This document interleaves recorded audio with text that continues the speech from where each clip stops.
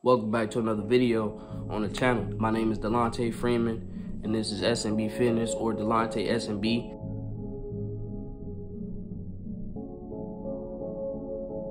Right where I talk about the spirit, mind, and body. In today's topic, I got a more spiritual topic that I feel like a lot of my real niggas need to hear. Now, I know that this video might not touch as many views as the other videos when I'm talking about women or when I'm talking about high value men or when I'm talking about working out or self improvement or anything like that. But this is just as important as some other self improvement shit because this is self improvement, right? To improve oneself is become less of a human, right? And more God like. And how do you become more God like? You have to walk after the image of Yah. So I feel like it's very important for us as grown ass men and just men in general, people in general, women, men alike, all people in general to understand the times that we're living in. We living in crazy times right now, bro. The times is getting rough. I know a lot of people see that the world is heating up as far as the wars and you know with Russia talking about they they beefing with us as the United States. Is the United States ready for a war with Russia? And America going against China and you know uh, Palestine and Israel, and it's just a lot of bullshit going on as far as that. And there's a scripture on that specifically that tells us in these times, you know, the beginning of sorrows, right? Where Yahweh Shai was talking to Peter. I don't know if that was Peter's actually real name, but Yahweh Shai was talking to one of the disciples, um, which the world calls Jesus Christ. I have to say that, right? Some people call him Jesus Christ, but I call him by his real name. Yahweh Shai was talking to one of the disciples, and Peter, he asked like, hey, Lord, or one of the disciples, I don't know if it's Peter or whoever, right? But one of the disciples was asking like, hey, Lord, how do I know when you will be returning again? And Yahweh Shai told him that there will be wars, there will be rumors of wars, right? Shit would just get be getting hectic on earth. And that is the beginning of sorrows. It's not even a time, the appointed time where the Son of Man will be coming, but it'll be the beginning of sorrows. And what is a sorrow? What is like the sadness in your heart? Sorrow. So the beginning of sadness, the beginning of depression, the beginning of the Great Depression, the beginning of the the, the bad times are here. Right? As I'm getting ready to join this military, I'm just realizing, bro, like these are the times that the scriptures talk about not only have this been going on for decades, right? Since I was in the beginning of, you know, and born and the beginning, you know, with 9-11 and all these different world events with the COVID and all these different things happening, right? So who's to say that it's now, but as I'm getting older, I'm realizing that there can possibly be a World War III.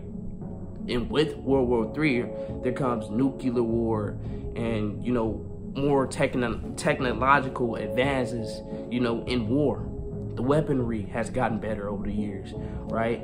Um, the, the, the, the, warfare has gotten better over the years. The tactics have gotten better over the years. Think about it. When you have years and years to study a craft, to do something, if I'm just spending 13, 14 years working out, which some niggas say that they do when some niggas really be on the juice, but some niggas say that they spend years and years working out so they meet muscle heads. Like you can see me right now. This is probably, I would say, at least three years of work. So when you see me flex on the on the, on the, on the, page and when I'm looking good, you see the cuts, you see the chest looking nice. Just remember, I've been doing push-ups for at least three years now. Even if you're a beginner, you have to realize that your physique would never look like mine because I started in a whole nother, I'm in a whole nother race, right? So when you have time to study something or when you have time to do something over the course of years, you got to realize that it's only getting better. Like, like, and I'll just say this as an example. My little brother don't understand it. My little brother is currently locked up, and he be talking shit on the phone all the time, right? One of the things he like to say is, "You don't know my strength now, right? You don't know my strength now. I really knock niggas out. We can really get it in. We can really fight. You're not gonna be beating on me no more. Blah blah blah blah blah." But I have to tell him, and I, it, it, I, I haven't reminded him, but it's like I don't even need to remind him. But he doesn't realize that if he's getting stronger and older and wiser and quicker on his feet, then I can't help but do the same thing. especially the fact that I'm working on myself, I'm doing push-ups or whatever I'm doing continuously over the years that you've been gone, you may be doing those things also, but I am doing those things also. So it's it's it's you you can't really beat. But that's just you know little child's play. That's nothing compared to this video. But I wanted to use that analogy just to say the times that we're living in is getting there. It's getting there, bro. There will be famines in these times, according to the word. There will be droughts. You know, there will be, man, the world is heating up. You get what I'm saying? It's heating up. And we should have seen that coming with the with the Vid 19. This the Vid 19. The 19. I don't want to say it because they be watching and monitoring my videos. Put little stuff down in the comments and putting little stuff down under the video when I talk about the flat earth, they will say a lot of different things like, oh, the earth is actually brown, Wikipedia says, and little shit like that just to show me that they monitoring and watching my videos. So I don't really want to, you know, go too far into saying certain shit, but because they'll take all this shit that I worked hard for. I'm already not getting publicity. I'm already not getting people watching. So for them to take some shit and I have to rebuild it, for what, right? Like I said, man, in these times, times will be getting hard, bro. They'll be getting hard. And and they're, they're they are getting harder. Actually, they're starting to heat up. And there is famine amongst the land, right? With the recession, right? Some people are, I wouldn't even say starving, but some people can't even eat for real. Like, I ain't gonna lie, I don't know about y'all, but it's fucked up over here for me and mine, right? My dad doing good. He ain't got no child support no more, and he working every single day, and he's stacking, you know what I'm saying, he getting shit together, which is good, right? But a lot of the people that I realized who had shit growing up, like my aunties, and I'm not putting nobody business out there, but shit is getting crazy with this recession, bro. So there is famines, so to say. Some niggas ain't eating as good as they was. I'm not eating as good as I was. You feel me? Not to say that there's a famine, like a lack of food, like in, in entirety, but in a way, the food is going down. The price of shit is going up people can't afford it. The rich is only getting richer and the broke and the poor is only getting poorer, right? So there's a great divide in that. But the scriptures tell us and they warn us about these exact times, bro. The exact times that we living in, the very own scriptures that a lot of people don't believe in, is playing out in front of our fucking faces, bro. And this is why I get so serious about the truth, right? Because when you're believing in a lie, when you decide to, you know, use the TikTok, when you decide to use the Instagrams, when you decide to use the social media such as this platform itself, right? YouTube, whatever it is, it's only a distraction from the real shit that's going on.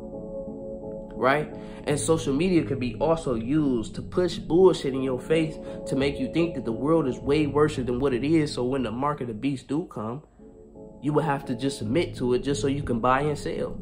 Because even in even in uh, Revelations, the scriptures tell us that people will not be able to buy or sell, you know, unless they got that mark on their wrist or their foreheads. And the mark is the mark of or the number of man, which is six, three times, six six six, right? So times is heating up, and they want you to know it, and they pushing it on this shit on the social media. They want you to know it so they can cause fear right? And with fear, you know, and when, when fear comes, people will just automatically just start losing their mind, giving up shit that they never thought they'd give up, right? There's a saying going around, and it's some some homo stuff, but I'll use it right on this video. It's a saying that a lot of kids like to use is either suck penis or let your mama die. And in that situation, you in a fear situation. You go against all morals, and all morals go out the window once you start to fear things. Know what I'm saying? I just use that analogy just to get this point across. You know what I'm saying? So they pushing fear like a motherfucker in these TVs and televisions so you can be like, man, most high, I don't know most high. Like you gotta understand most high. I gotta do what I gotta do. Which at the same time, that's where I'm at, right? Like I'm in a position where I'm getting ready to join the military, but at the same time, I'm questioning it because it goes against not all of my morals. It's not necessarily going against my moral, but I, I, just hate this fucking world so much. And I understand that the world and working directly for the world is low key like an enemy to the most high. You know what I'm saying? because the world hates the Most High. And the reason I understand that, the reason I know that is because I've done tons of research.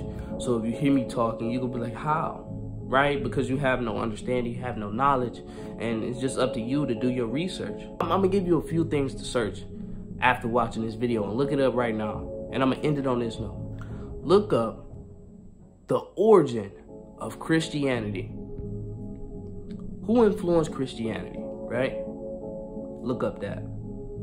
And when you look it up, it'll take you back to the Roman. And then when it take you back to the Roman Catholic, you will see that the Romans were pagan. And then if you see that the Romans were pagan and you see that the Romans is influencing modern Christianity, and, and this is the second thing I want you to look up. What is the most popular religion in the world? The, the biggest religion in the world, the number one religion in the world, and that will be Christianity. That is a world religion. So when the scriptures tell you that the you know a friend of the world is an enemy to the most high, why? The world is making it cool to be a Christian, changing all the old history, changing all the books, changing the name of the, the Messiah, changing the name and making it modern. The new living translation, new international version, new, new, new, new, new. Another word for new is modern. To modernize something is to take the old out of it and switch all that old shit around, take that old out, like, oh, these old parts, let me put in some new parts. All these old brakes, let me put in some new brakes. As if the old ain't ain't ain't the old. You get what I'm saying? And those scriptures tell us that ain't nothing really new under the sun. If somebody say let us do something new, they lying. Ain't nothing new. So what what's happening is Rome is trying to take control of the world again and people from back in the day nimrod's people and all these different stories of the ancient bible is happening in today's era so when i say that you know working for this government and working for this world is low key like selling out it's low key like going against the most high i mean it but i'm my back against the wall i already told my people i'm gonna do it you feel me i got a test coming up on the 24th I'm gonna take it. If I get in, I get in. If I don't, I don't. But this will be the second time that I try. You feel me? So when I say certain shit, I ain't just talking out the ass. I'm not just watching some shit and watching people say things and just believing it. I do my history and I do my research. That's why a lot of the Christian groups that I've been a part of, or a lot of these people, I just can't make it, and, and I, I just can't seem to be a part of these groups because they haven't done an actual research to go back in time and to realize the times that we're living in, to realize the shit that we're doing is all a part of their fucking agenda. They want us to be Christians. Feel me? They want us to know this shit, this lie. They don't want us to worship the Most High. They don't want us to know our own identity. The best way to trick a motherfucker is to act like you don't even exist. That's the greatest trick of the devil. Acting like he don't even exist. The best way to do it is Christianity. If I put a million motherfucking churches, if I put a million motherfucking uh, shit talking about God, then everybody gonna think that they doing good. They not gonna know to follow the real laws because we already pushing shit. We already making it seem like it's good because Christianity, Christianity. But they not gonna know that this not obedient to the Most High when you don't follow the laws, when you don't live by the book, when you don't do your history, when you don't worship Him in spirit and in truth, like the scriptures tell us. You gotta worship Him in the spirit and the truth. And how do you worship something in truth? You take it back to the original. Jesus is not my Lord and Savior. Yahweh Shai is the real man in the word. That's the son of Yah. You feel me? So, this is just a message for my people out there because as a real person, I wouldn't be doing my due diligence and I wouldn't be serving my purpose here on earth if I don't talk about the shit that actually matter. If I'm just constantly feeding some shit to try to take care of my family or to get some fucking views and some clout that I don't even care about. I want to use this platform. I want to use these fucking views. I want to be using all this stuff, you know, to talk about something that's real. Kill me if they want to. I don't care. I die for what I believe in. It's always death before dishonor. I would never go out dishonorable. I would never go out like no punk. Never. I've always fought the biggest bullies. I've always been, never tucked my tail, never been no fucking coward. I never ran for nothing. And a lot of niggas who've been around me, they'll tell you. When a lot of these niggas that's in jail, a lot of these niggas that died, they've been around me hand, firsthand. You feel me? They got these images. They look like they the scary ones, but the scary ones is the ones that don't even want to be scary. They want to be nice. They want you to think they cool so they can backdoor you and snake you. I've been through it. I've done it. You feel me? Those the real ones to look out for. Not the ones who say they bad. Not the ones who got the image of being bad. It's the ones with the kind and loving hearts. Because when you got that love for the Most High, you got the power to really do something. Think about it. And I, I ended on this note. The Most High, right, is a man who made hell. He dwells in heaven, but he made a place called hell for people who don't want to be with him. And if hell is such a bad place, right? If hell is such a bad place, but it came out of love, a man of love made that place, right? Because you ain't want to be with love, because I created love. You ain't want to be with me. I made a place that has no love in it. If a man like that, a man full of love, the man who created love, if he can create a place like hell, you really need to be scared of ones who love. You feel me? It's not these ones who big and bad and acting brave on the ground. Them niggas is cowards. I see straight through the facade. It's the ones who not acting big and bad. It's the ones who spreading love you got to be scared of. And these demons, they fear the real ones of the Most High. They fear the people of Yah. They fear these Israelites. Some of them, because the Israelites, that's a whole nother topic, which is a group and shit. They, they believe in some totally other stuff, which is kind of the truth, but it's mixed with lies. So if something mixed with lies, then it's the lie in, in general, right? They fear these people who really about this word. They fear people who really about the Most High. They fear us. They fear us because we lovers and our Father is to be feared. Feel me? Cowards. I'm out.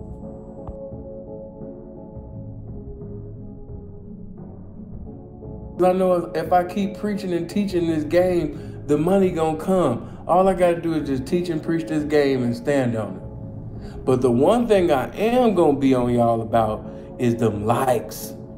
I need them likes, man. I need them likes. Some people going through it to get to it. So I wouldn't dare ask you for no money. But the least you could do is lift your finger to click on that thumbs up button. That's all I want you to do.